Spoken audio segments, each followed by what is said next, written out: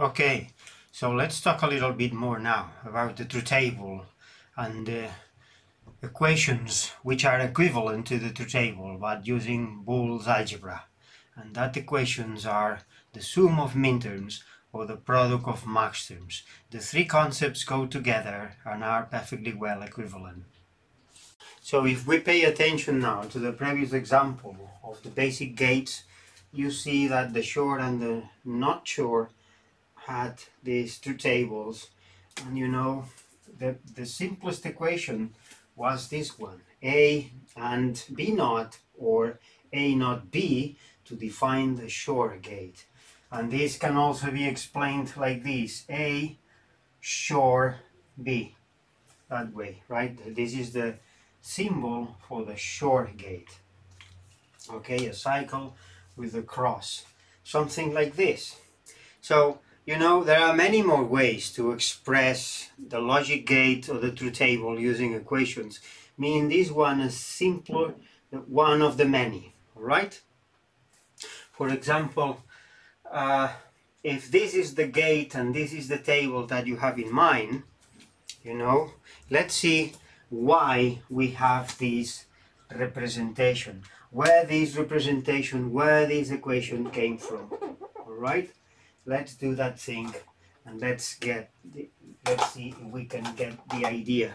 Well and this comes from this uh, idea that if you've got a function for example c of the variables a and b ordered like this you know you have four possible combinations. You can name them accordingly to the decimal equivalent to the binary code. For example, this is a 3 in binary. Alright? And this is a 0 in binary. So you have 0, 1, 2, 3 as the binary numbers accompanying every one of the combinations. And you can have them ordered or disordered, doesn't matter. The point is that if you have, for example, a 7, 7 is just 1, 1, 1, you know? So this is the 7 in radix 10, and this is 1, 1, 1 in radix 2, and both numbers are perfectly well the same.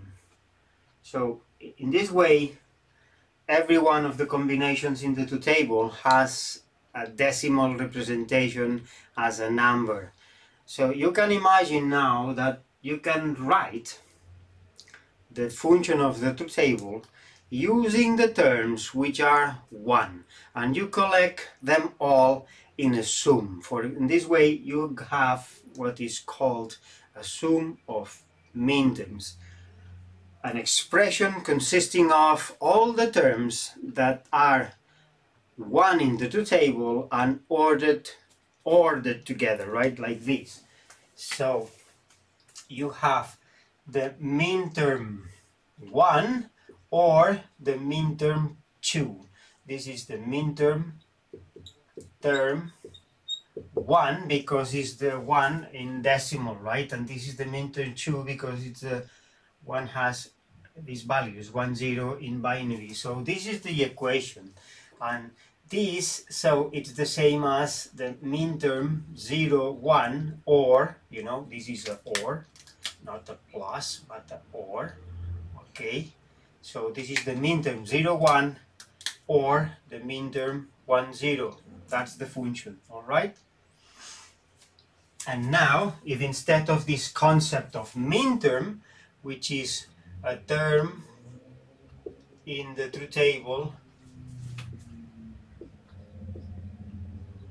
that is 1, right?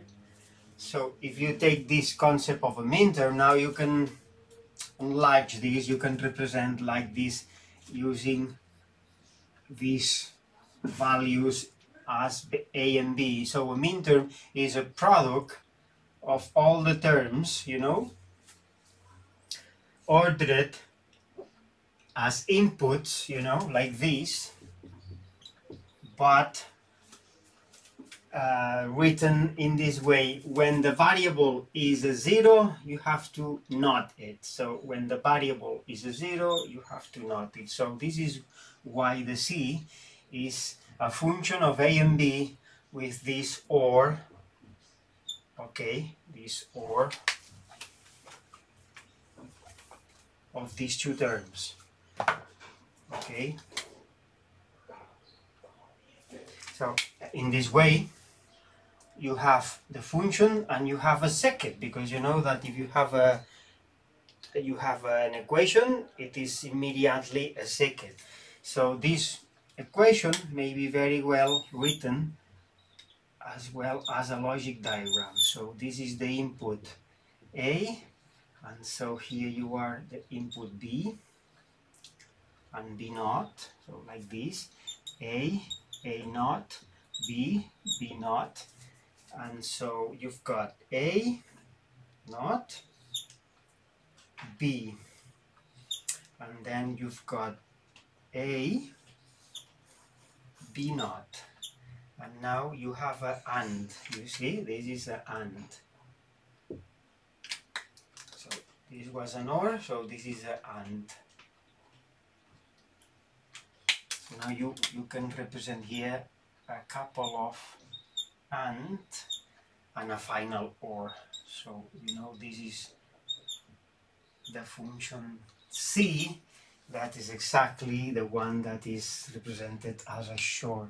So you see this equation, the one that we get the other day here, as the definition of a XOR, is nothing but a logic circuit which is the composition of two minterms. So here you can now name very well A naught, B, so it's A naught and B, so this is nothing but the minterm 0, 1, alright? So this is the mean minterm 1 and so this wire here is nothing but you see a b naught and b naught so this is the minterm 1 0 so it's the mean minterm 2 so exactly the C is just the OR of the two minterms that's the definition of the XOR gate. Considering the typical equation you see that we have in mind which is nothing but the sum you know the OR of two terms the ones which are generating a 1 right? In the truth table. And so in the same way you can do something equivalent considering the zeros if you take the zeros what are you taking here from the table is the term 0 and the term 3, right? So the same function c of the variables a and b is nothing but now a product. You can consider the product of the max term 0 and, you see, a product is because it's a and, so it's a product of the max term 0 and the max term 3 which is nothing that the max term 0, 0 now in binary and the max term 1, 1 and this is nothing but the representation of the max terms using the inputs. And the max terms are represented in the in the dual way you know you know this way it's going to be uh, or of two sums so the max term is a sum of all the input variables ordered correctly and represented like this. If the variable is 0, you have to write the variable as it is as a literal. So 0, 0 means A or B. And if the variable is 1, but now because it's a max term, is the variable not that way. So this equation is perfectly well the same as the one that we had before, the one belonging to a XOR. And this equation, you know, represents in the same way as before the XOR.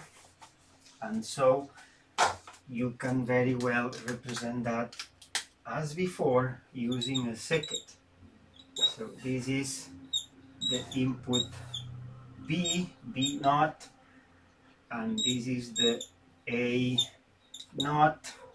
This is a buffer for the A, so here you are A and B. Okay, A and B are the inputs of the circuit. So here you are a OR and a final AND. That's just the dual circuit that you've got before. Using minterms now, if you are using maxterms, is like this.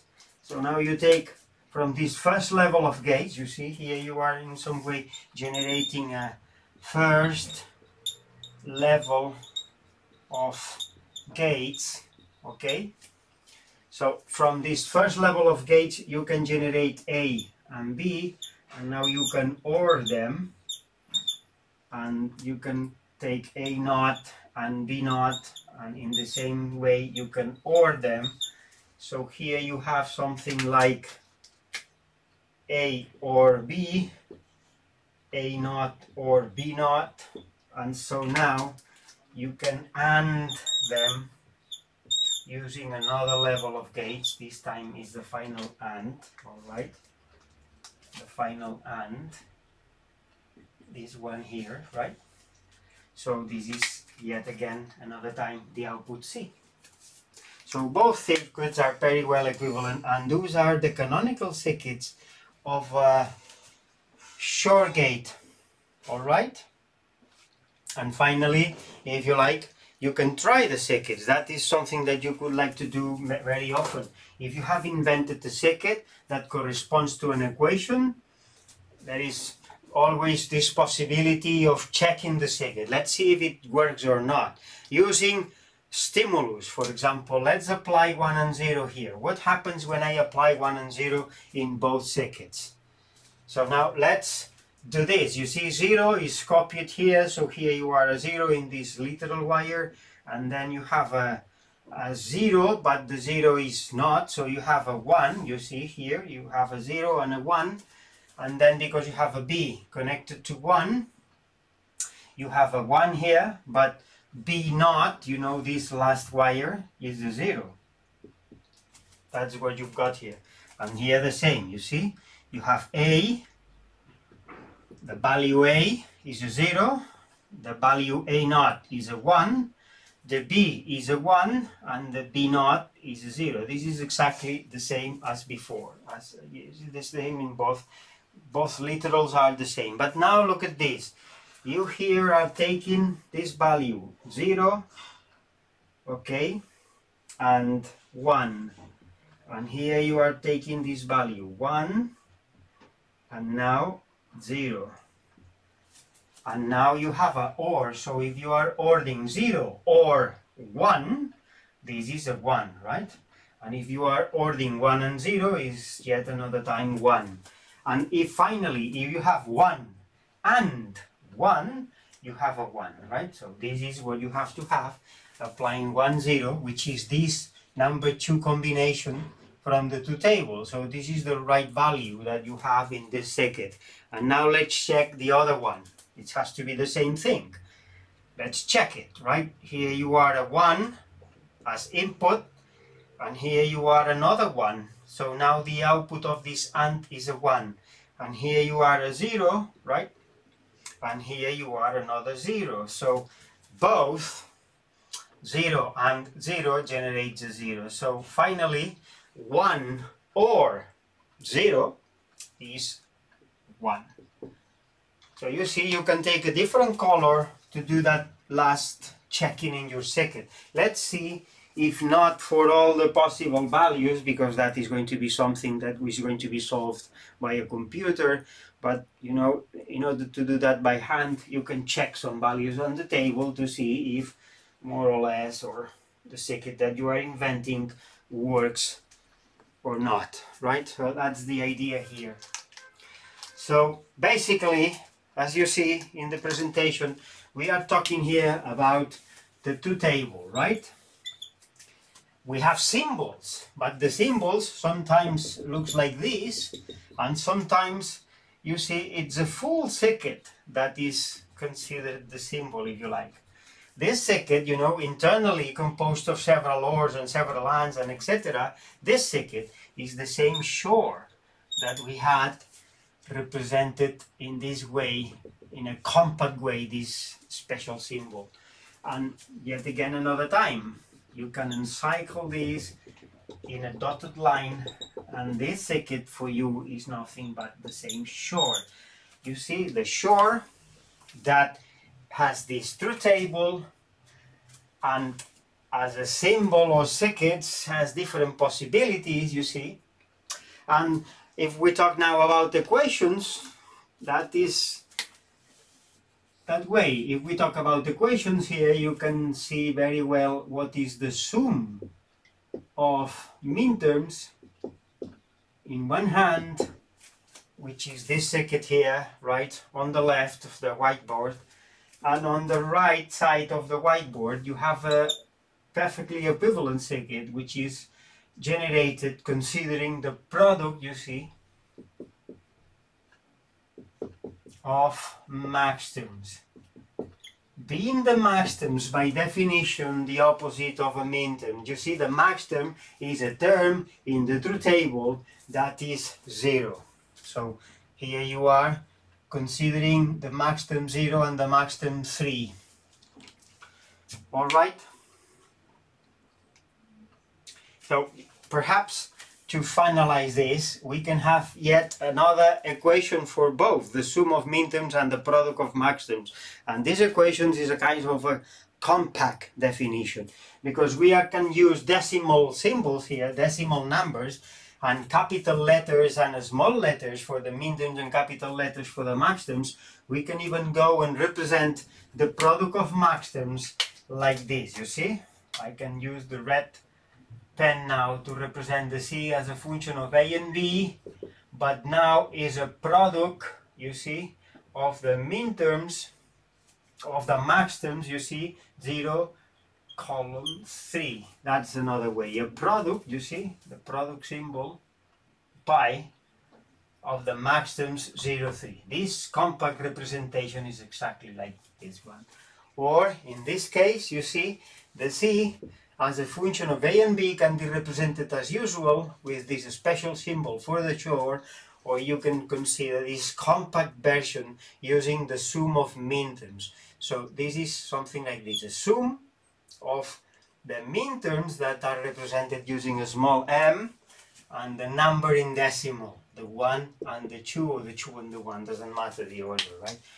So that's the final equation. So if you are expressing a truth table, all right, like this, in the end, you are at the same time expressing one of these equations or both of them because it's one occasion equation or the other. That, that's the way right?